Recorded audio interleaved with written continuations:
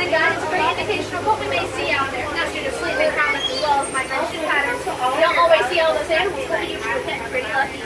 We will be traveling over some unpaved road out there and through some bushes that have long and very sharp thorns, so for your safety, I do need you to remain seated at all times, keeping all of your body parts and your personal items inside the safari vehicle. Hold on to any items you don't want to leave. Should something fall out of the truck, I by show of hands, anybody on their very first safari? Do we have any first timers with us? Okay, a couple of you. Well, great. Welcome aboard. To those of you returning, welcome back. It's great to see you again. I'm glad that we didn't scare you off. Now we're going to be journey out here begins in the little Ituri forest, found to animals whose natural colors work as camouflage. It allows them to blend in really well with their surroundings. Makes it a little difficult to see sometimes, but we'll give it our best shot. Off there to our right hand side towards the very top. That animal sort of looks like it's wearing zebra pants, but it's not related to the zebra at all. That's actually the okapi, and they're the only known relative of the giraffe. Now their body shape is pretty similar to a giraffe's, right down to the ossicones on top of their heads and the end of their horns. They're just a whole lot shorter. Also like a giraffe, they have those same really long tongues. They're about 14 to 18 inches long. Long enough that they can grab leaves off of bushes and trees with that tongue, and also long enough that they can lick their own eyeballs. Their ears well when they're trying to get itchy.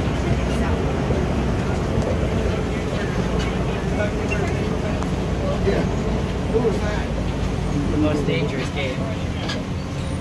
Over there to our left, we have one of the most dangerous animals out in Africa, Yeah. the greenback Homo sapien.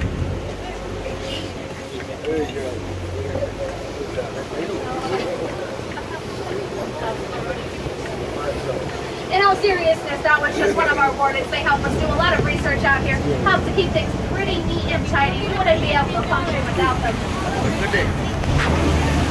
Produce about 2,000 pounds of pressure. They're also capable of self-purging. That means when they get injured, they can stop their bleeding all on their own without the use of any external force.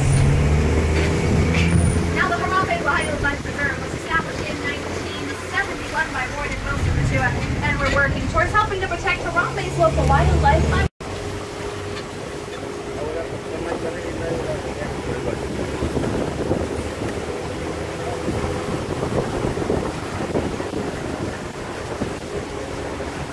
Back there to the left-hand side, we have the spotted hyena. Now, spotted hyenas live in female-dominated packs, the lowest-ranking female outranking even the highest-ranking male. The big cattle, the name they got from the tribe that first worked to domesticate them, which makes them the only domesticated animals out here on the reserve.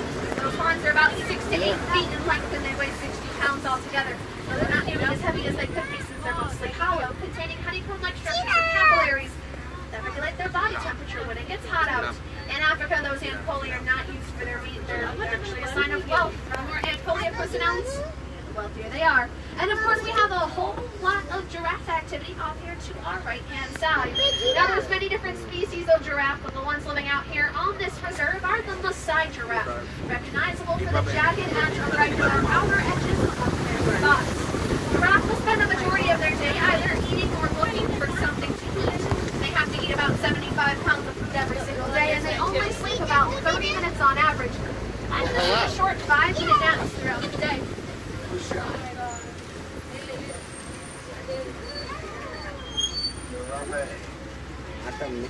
Now, as you can see by that one off there to our left, their tongues, like the okapis, are about 18 inches long. That giraffe has decided to use that tongue to help him eat.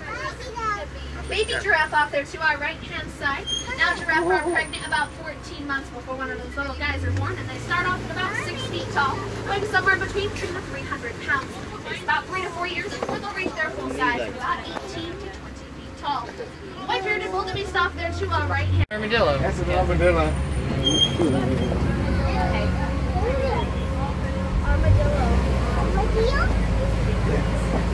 Armadillo. It does look like she did a pretty great job at fixing it. She used all these strong cords and angles. And a little bit of duct tape too. Nice touch, nice touch.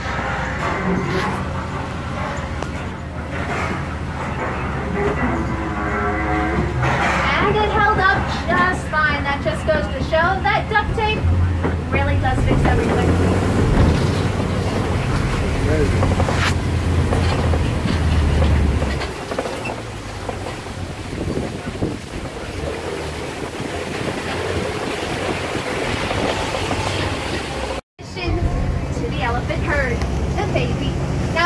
Baby elephant is a female born in mid-December, so she's about eight months old right now.